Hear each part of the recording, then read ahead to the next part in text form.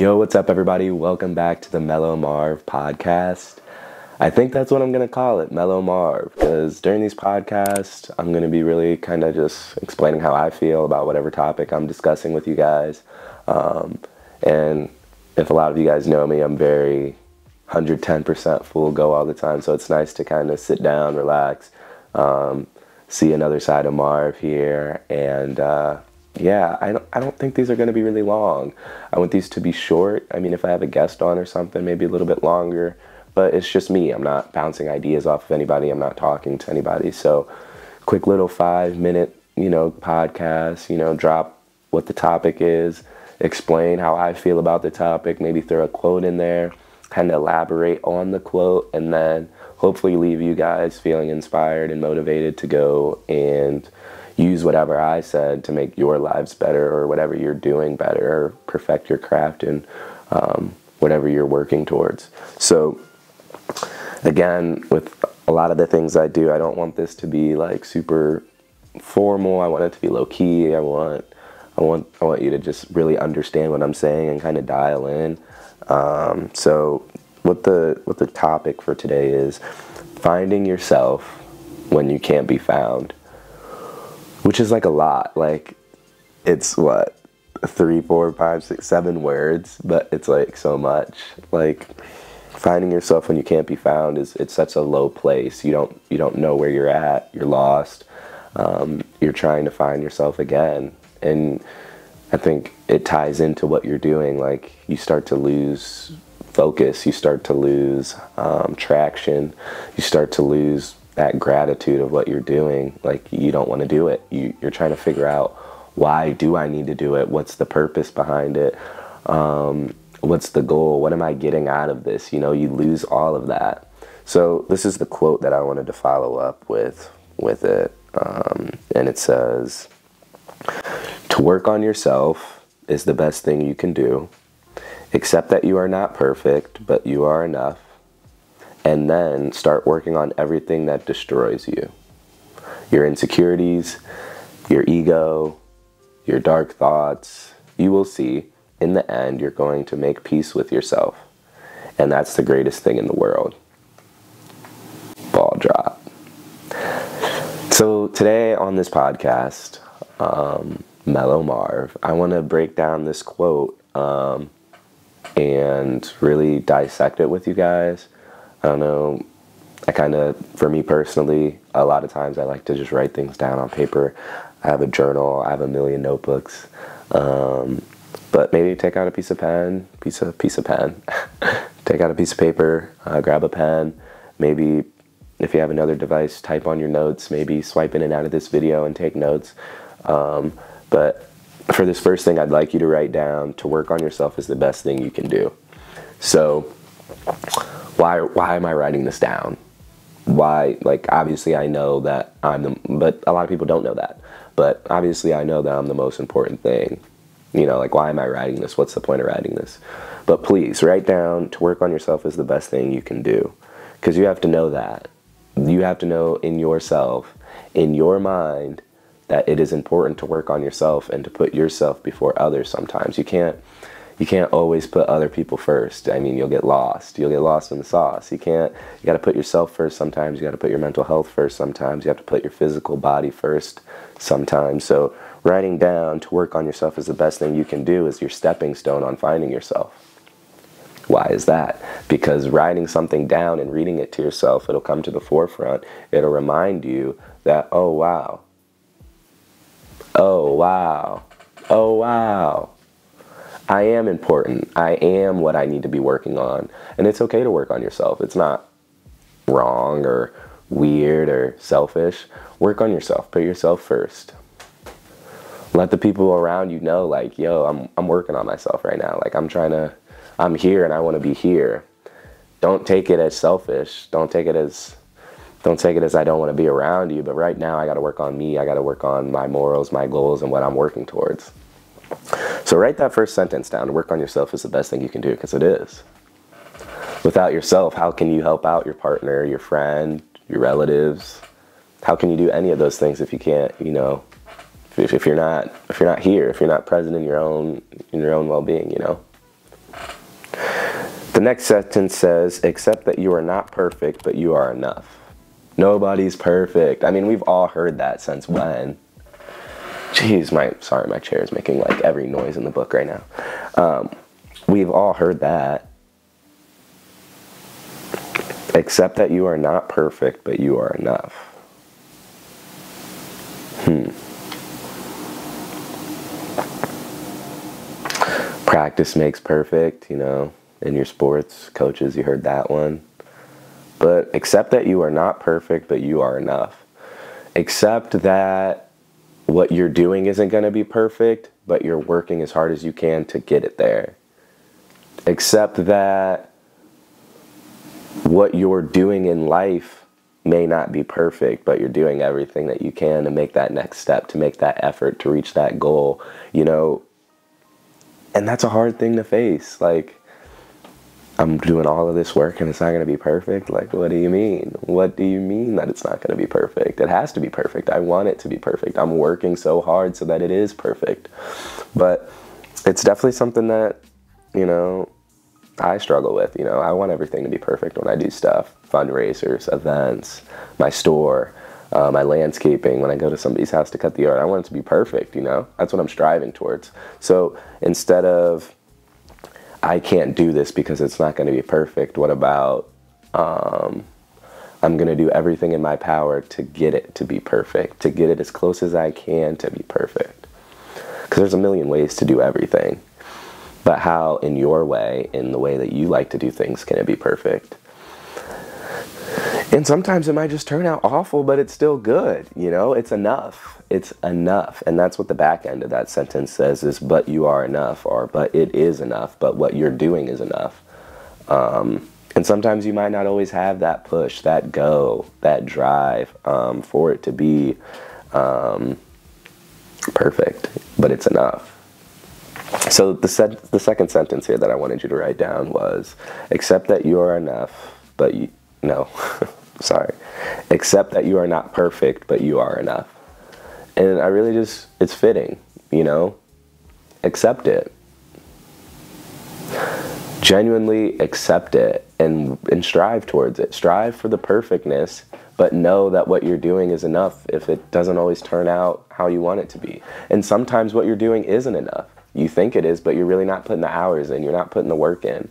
You want the results that you see on social media, but you're just doing this. You want, you know, you want that new car, you want, you know, you want to have these sponsor deals that everybody else is posting, but you're not grinding. You're not working on yourself enough to reach those things. You're just seeing it and wanting it instead of seeing it, processing it, working on it, and then achieving it. The third sentence here says, and then start working on everything that destroys you.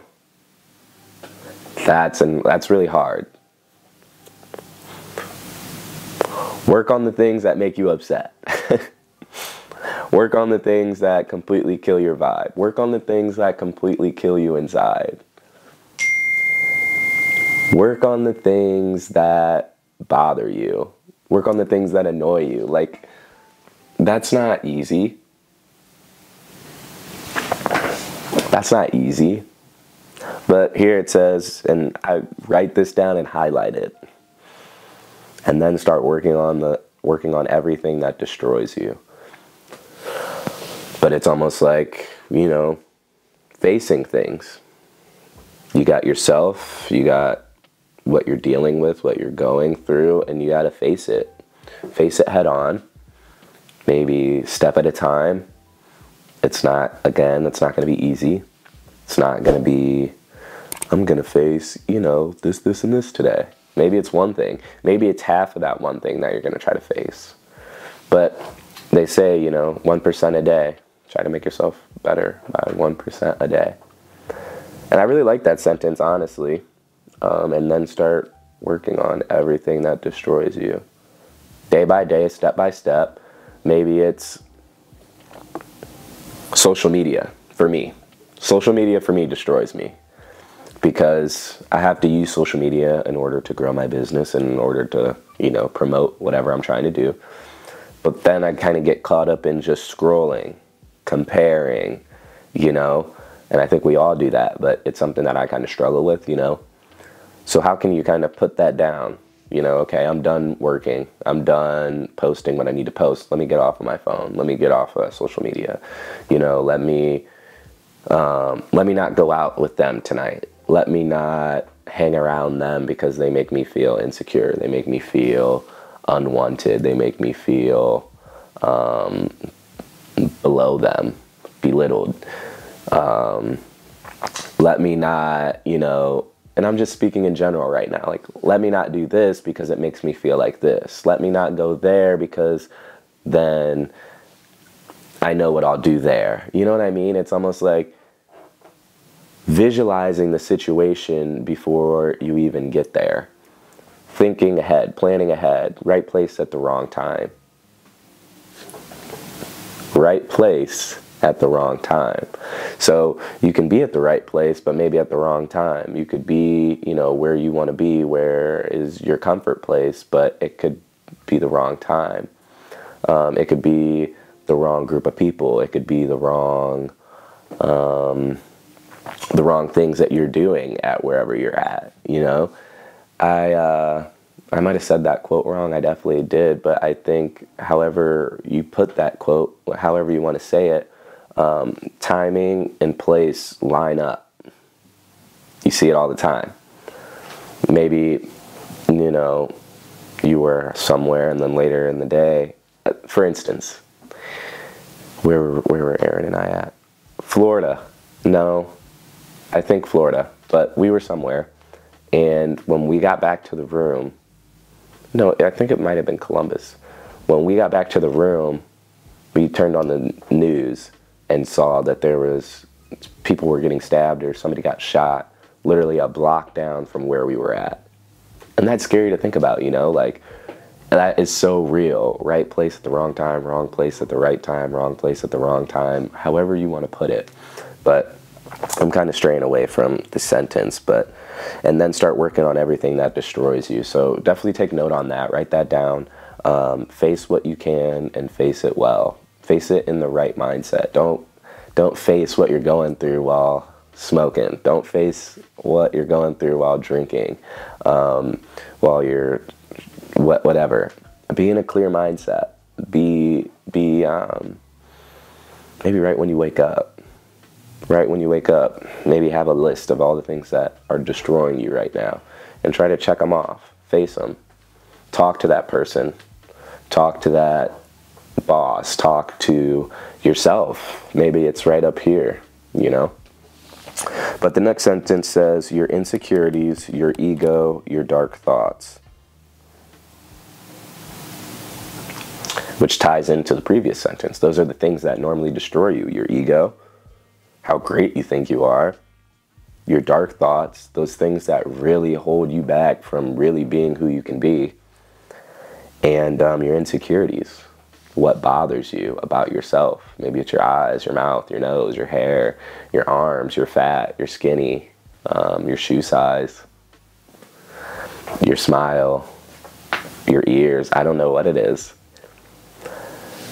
but it almost goes back to being comfortable with yourself, accepting that everything isn't going to be perfect, but you are enough. It's enough. And um,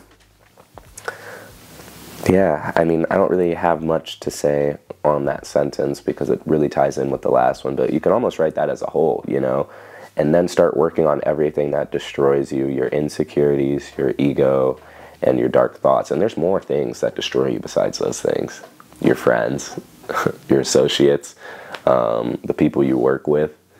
Um, all those people can destroy you as well, quick, just like that. Next sentence says, "You will see in the end you're going to make peace with yourself." And that's what that's all it is, is making peace with yourself. So then when those things do come around, when those people do try to like none of this stuff is going to stop it. Like okay, you know, you figured out all your insecurities and your dark thoughts, you faced it all. that's not going to be the last time it happens. So it's fi- like it's coming to peace with those things. You're not trying to you're trying to get rid of some of these things. Some of these things you can get rid of that will positively affect your life. 100%. 100%. But some of these things are always going to be there. This this is always going to be here, you know? So it's finding peace in it. Um, some of those family members are always going to be there. Maybe not always going to be there, but they're going to be there. Or that person at your job while you're working there, they're, they're going to be there. It's not, okay, I wished them away in my head. Like, they're not going to be there tomorrow when I go into work, you know? Or it's finding peace in it and building enough, I don't know what the word is, but building yourself up enough to the point where you're above it. You're not worried about it. It's like, oh, cool. Nice. Dope. Cool. I don't know why you said that, but have a nice day. You know? And you're past it, opposed to completely losing yourself because so and so said this, this, and that. You know what I mean? So then the next part goes to say, and that's the greatest thing in the world. What's the greatest thing in the world? That's that's the question that I'm leaving you with today. And that's the greatest thing in the world. So what's the greatest thing in the world to you? Is it impressing this person, that person, this person, making sure this person, that person, this person is great? Or is it um, finding yourself, finding peace within yourself?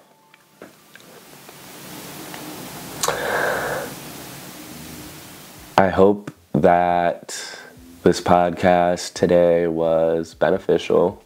I hope that it opened your eyes or your mindset to different things, a different way to look at things. Um, if you have any comments, please drop them down below, um, positive or negative. I'd love to receive some feedback on these.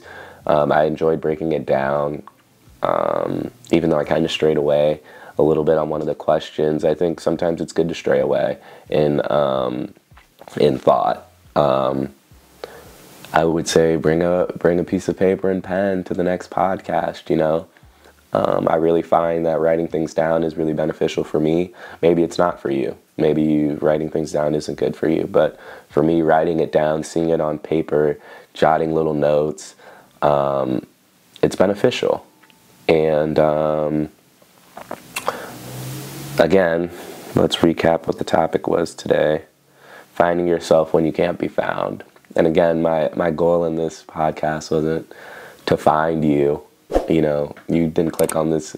I mean, you clicked on this video to better find yourself, you know, to help yourself find yourself. But this isn't the key.